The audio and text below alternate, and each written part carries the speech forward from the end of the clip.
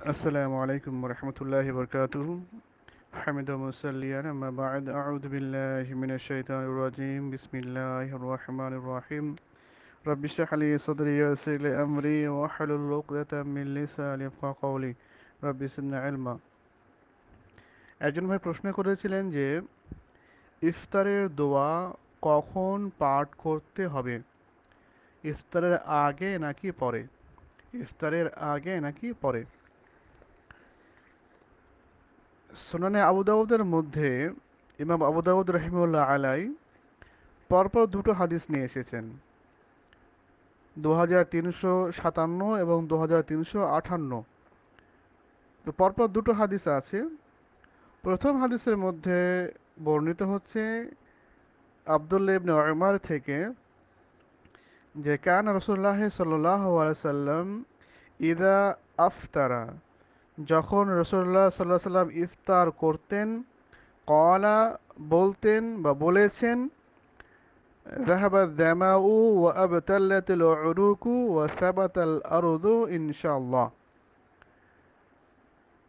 এই দোয়াটা কখন পড়তে হবে? হাদিসের যে ভাষা, সেখান থেকে আমাদের যেটা বুঝতে পারলাম যে স্পষ্ট হচ্ছে না বিষয়টাতে আমরা যে রসুল্লাহ সাল্লাহ সাল্লাম যখন ইফতার করেছেন, তখন বলেছেন বা যখন করতেন তখন বলতেন। তো যখন করেছেন, তখন আগে বলেছেন না পরে বলেছেন? এই বিষয়টা অস্পষ্ট।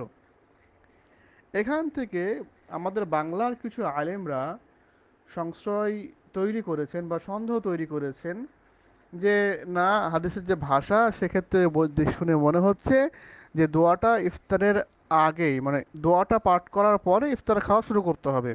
বা ইফতার করা শুরু করতে হবে। এই যে সন্দেহ বা এই ধরনের ব্যাখ্যা আহলে এলম বা আরব, আহলে আরবরা বা আরব দেশের লোকেরা কেউ কিন্তু করেননি।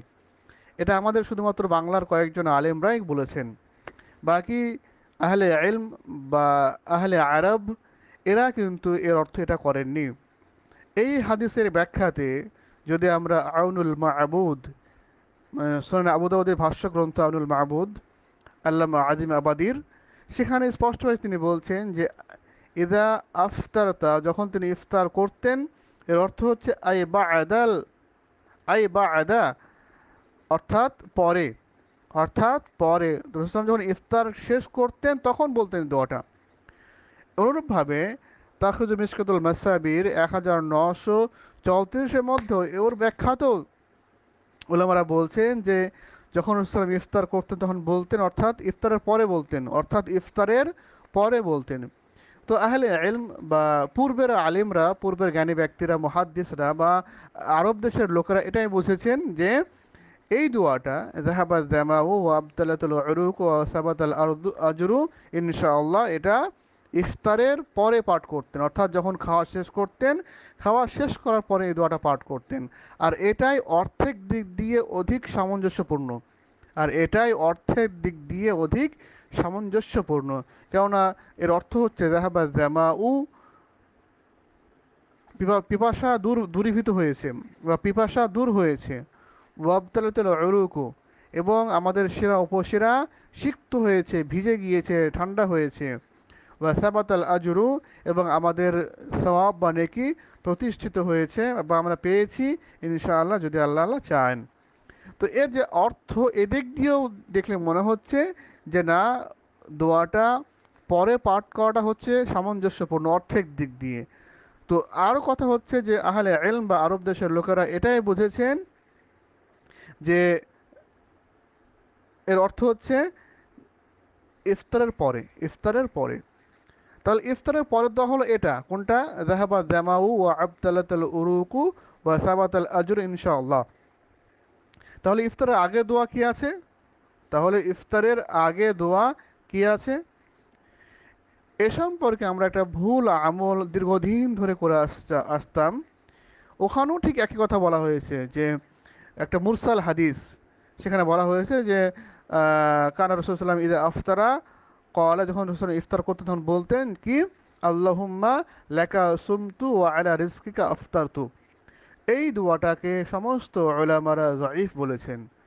কেননা এই হাদিসের মধ্যে একজন রাবি রয়েছে, যার নাম হচ্ছে আবু ইসমাইল আমর। ইসমাইল বিন আমর, যাকে সমস্ত ওলামারা বলেছেন যে এ হচ্ছে জয়ীব বা দুর্বল রাবি। সেজন্য এই হাদিসটা হচ্ছে জয়ীফ হাদিস। আর অনেক অনেক বলেছেন যে হাদিসটা হচ্ছে মুরসাল হাদিস।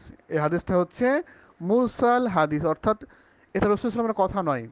এটা রসুল ইসলামের কথা নয়। মুরসাল বলতে বোঝায়, রসুল ইসলামের পরে যুগ হচ্ছে সাহাবা, সাহাবার পরে হচ্ছে তাবেঈ। তো সাহাবাদেরকে বাদ দিয়ে কোনো তাবেঈ বলছেন যে রসুল্লাহ আসলাম এরকম বলেছেন। রসুলাম এরকম বলেছেন।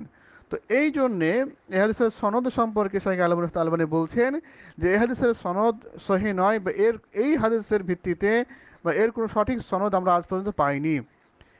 এবং ইমাম আবু ইমাম শাহেখ আলম আলবান রহিমুল্লাহ এই হাদিসটাকে জয়ীফ তিরমিজির মধ্যে নিয়ে এসেছেন। জয়ীফ আবুদাউদের মধ্যে নিয়ে এসেছেন। তো যেহেতু জয়ীফ হাদিস, এই দোয়াটা বা এই দোয়া পাঠ করাটা জয়ীফ হাদিস থেকে প্রমাণিত, সেজন্য এর উপর আমল করা যাবে না বা এটা দলিল হিসেবে গ্রহণ করা যাবে না। তো বাকি থাকল কি? যে আমরা যেরকমভাবে নর্মাল খাওয়ার পূর্বে বিসমিল্লা পাঠ করে ঠিক সেভাবে আমরা বিসমিল্লা বলে ইফতার করব এবং ইফতারের শেষে আমরা এই দোয়াটা পাঠ করব কি? দাহাবাদ জামাউ ওয়া আবতাল্লাতিল উরুকু ওয়া সাবাতাল আজরু ইনশাআল্লাহ।